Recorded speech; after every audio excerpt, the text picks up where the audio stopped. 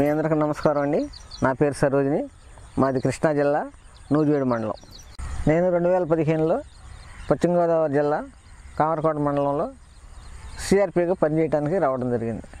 తడికిలపూడి కస్టడీలో మూడు గ్రామాల్లో నేను ఆ, చాయిపాడు తడికిలపూడి ఈర్చెటిగూడు ఈ మూడు గ్రామాల్లో కూడా రైతులకి ప్రకృతి వ్యవసాయం మీద అవగాహన కల్పించడం కోసం పనిచేస్తున్నాను మొదట్లో ఈ మూడు గ్రామాల రైతులకి ప్రకృతి వ్యవసాయం మీద అవగాహన కల్పించడం కోసం చాలా కష్టపడ్డాను.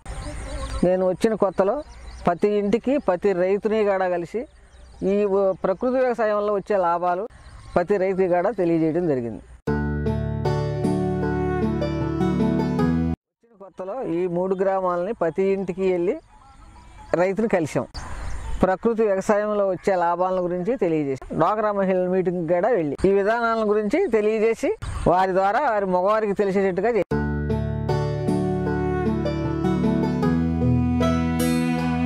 ఎక్కడెక్కడ రైతులు కూర్చున్నా కాడ ఇద్దరు ముగ్గురు రైతులు కూర్చున్నా కాడ వాళ్ళకి ఈ విధానాన్ని గురించి చెప్పడం జరిగింది. నా పేరు సరోజిని అండి. మాది చితారంపురం కృష్ణా జిల్లా నుంచి వచ్చాం. నేను ఈ తడికిలపూడి గ్రామంలోను ఈ కస్టడీ కింద మూడు గ్రామాల్లో తడికిలపూడి గ్రామం చాయిపాడు ఇరిచెట్టుగూడు మూడు గ్రామాల్లోనూ సిఆర్పిగా ఈ ప్రకృతి వ్యవసాయం మీద చెప్పడానికి వచ్చాను. ఈ ప్రకృతి వ్యవసాయం చేసుకోమని ప్రతి రైతుకి కూడా సలహాలు ఇస్తున్నాను. నేను ఇరవై నాలుగు గంటల్లో మీకు ఏ సూచనలు కావాల్సినా కూడా నేను వచ్చి మీకు అందుబాటులో ఉంటాను.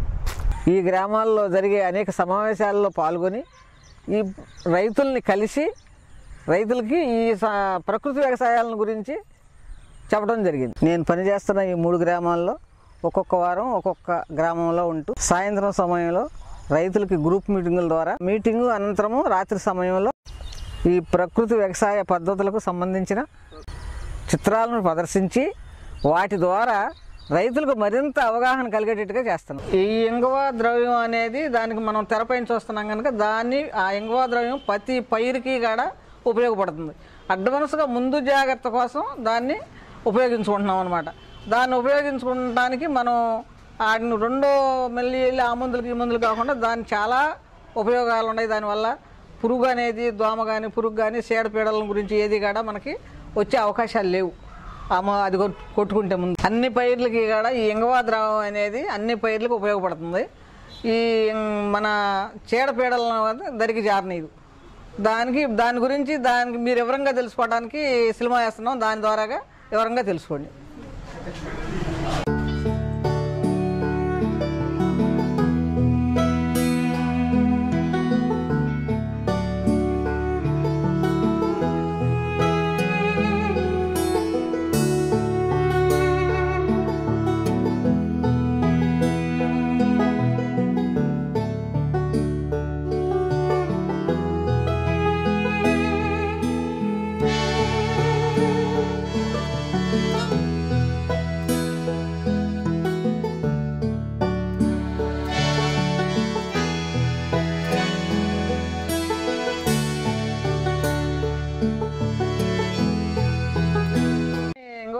ఇంగువ గురించి చూశారు కదా?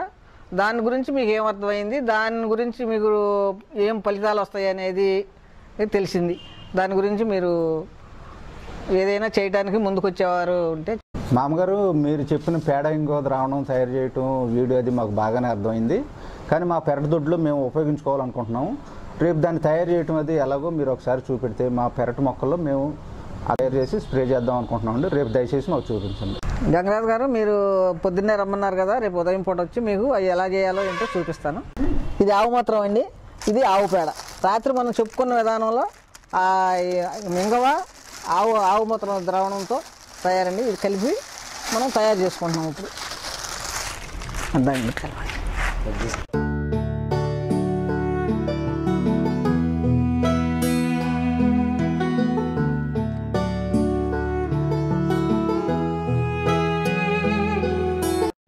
మామగారు మాకు చక్కగా నేర్పారండి. ఇంకో ఆవు మూత్ర ద్రావణం కలపటం. ఇదే రకంగా మా పొలాల్లో కూడా మేము చేసుకుని పంట పొలాల్లో స్ప్రే చేసుకుని కూరగాయ పొదలు కాటికి మంచి దిగుబడి సాధిస్తామండి. ధన్యవాదాలు సార్. ధన్యవాదాలు. నేను పనిచేస్తున్న తడికులపూడి గ్రామంలో ఒక ఎకరన్నర లీజుకు తీసుకుని విధానం అవలంబిస్తూ వరి పండిస్తున్నాను. అతి తక్కువ ఖర్చుతో చు- చుట్టుపక్కల రైతులతో పాటు ఆ రైతులు పండించిన దిగుబడితో పాటు నేను కూడా దిగుబడిని సాధించడం జరిగింది. ఈ ఉద్దేశంతోనే ఈ విధానాలను పాటిస్తామని ఎక్కువ మంది రైతులు ముందుకొచ్చారు. రైతులకు ఎప్పటికీ ఎప్పుడు వారి పంటలకు కావాల్సి ప్రకృతి వ్యవసాయ విధానాలను నేర్పుతూ పంటలకు కావాల్సిన కషాయాలు ద్రావణాలను భూసారం పెరగడం కోసం ఘనజీవామృతం నాడెప్ కంపోస్ట్ ఎరువు స్వయముగా రైతుల చేత తయారు చేస్తున్నాం. భూసారం పెరగడం కోసం పచ్చిరొట్ట పైరుని కాడ రైతులతో వేయించడం జరిగింది. పదిహేను మంది రైతులతో ఇరవై ఐదు ఎకరాలు ఇరవై ఇరవై ఐదు ఎకరాల పొలంలో భూసారం పెరగడం కోసం జీలుగు చెల్లించడం జరిగింది. నేను వచ్చిన కాడ నుంచి ఇప్పటి వరకు ఈ మూడు గ్రామాలలో యాభై శాతం మంది పూర్తిగా ఇదే పద్ధతిలో పాటిస్తున్నారు. ముందు ముందు అందరు రైతుల్ని ఇదే పద్ధతిలో చేసేటట్టుగా నా వంతు కృషి చేస్తాను.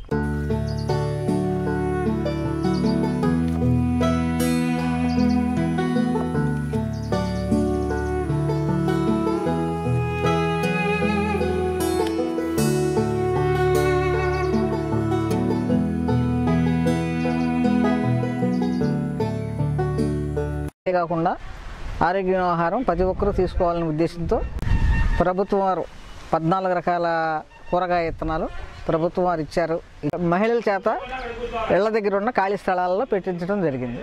ఖాళీ స్థలంలో గవర్నమెంట్ వారు ఇచ్చిన పద్నాలుగు రకాల కూరగాయ విత్తనాలను సిఆర్పి వారి సహాయంతో మా పెరటి తోటలో వేసాం. పోయిన సంవత్సరం కూడా ఇదే విధంగా కూరగాయలు వేసి పండించుకున్నాము. కుటుంబం అంతా ఆరోగ్యంగా ఉంది. ఆరోగ్యకరమైన ఆహారాన్ని మా కుటుంబానికి అందించి.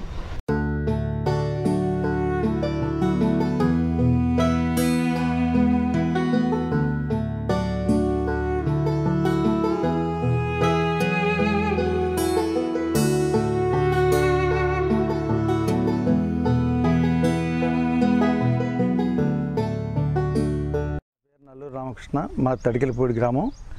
మా ఊరికి సిఆర్పిగా వచ్చిన సరోజిని గారు సూచనల మేరకు మేము ప్రకృతి సేద్యం చేసుకుంటూ నాకున్న పాతిక ముప్పై శాలతీలు చెట్టు చెట్టు మధ్యలో కట్టేయటం చెట్టు మొదలను కట్టేయటం ఇప్పటి వరకు చేసుకుంటూ నాకు గల ఆవులు దూడలు ద్వారా గో పేడ మూత్రము సేకరించి గోమృతం తయారు చేసుకుని ట్యాంకర్ ద్వారాగా ప్రతి చెట్టుకి చెట్టు చెట్టుకి ఇరవై లీటర్ల కాడికి పోసుకుంటూ తడవకి ప్రకృతి సేద్యం చేస్తుంది. వేరే రూలు వేసేవాళ్ళం అది అధిక ఖర్చు అయ్యేది. ఇప్పుడు ఇలా సొంతంగా చేసుకోవడం వల్ల మా ఖర్చు బాగా తగ్గింది. గ్రామానికి వచ్చిన సిఆర్పి సరోజిని గారి ప్రోద్బలంతో ఇవన్నీ చేయగలుగుతున్నాం. కషాయాలు ద్రవణాలు స్వయంగా తయారు చేసుకోలేని రైతులకి అందుబాటులో ఉండే విధంగా. రైతులు అందరూ వినియోగించుకునే విధానంగా అవగాహన కల్పిస్తున్నాము. నా పేరు దేవదాస్ అండి. దాసి దేవదాసు.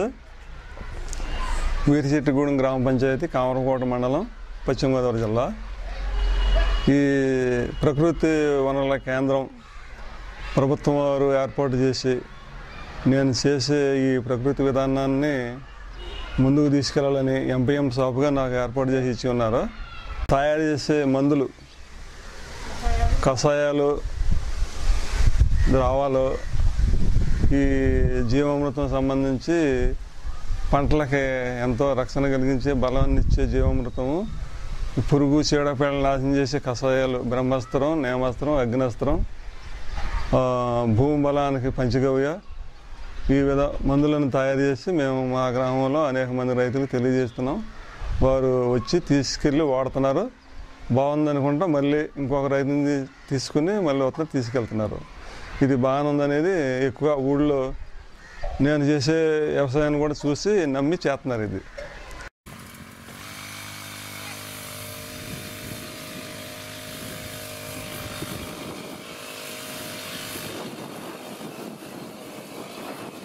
నమస్కారం అండి నా పేరు సురేష్ తడిగిలిపూడి గ్రామం. మొదట్లో ప్రకృతి వ్యవసాయం చేయడం మాకంత అవగాహన లేదు. ఇప్పుడు దాని మీద ఈ కొత్త వ్యవసాయ సిబ్బంది సిఆర్పీలు అందరూ కలిసి మాకు ప్రోత్సాహం ఇవ్వడం వలన మాకు ఎంతో అవగాహన వచ్చింది. మొదట్లో ఇది మాకు తక్కువ ఖర్చుతో ఉండబట్టి ఈ వ్యవసాయ పద్ధతిని మేము అవలంబించడం జరిగింది. అదేవిధంగా మాకు ఖర్చు తగ్గింది. అదేవిధంగా మాకు దిగుబడి పెరిగింది. దాదాపు అన్ని గ్రామాల్లో ప్రభుత్వం వారు ప్రకృతి వ్యవసాయాలను గురించి అవగాహన కల్పించడం కొరకు ఏర్పాటు చేసిన సిబ్బందిని ఉపయోగించుకుంటూ వారి యొక్క సలహాలు సూచనలు పాటించి పంటలు పండించి మంచి ఆహారం తక్కువ ఖర్చుతో ప్రతి ఒక్కరూ పంటలు పండించి వీటిని అవలంబిస్తారని కోరుకుంటున్నాం.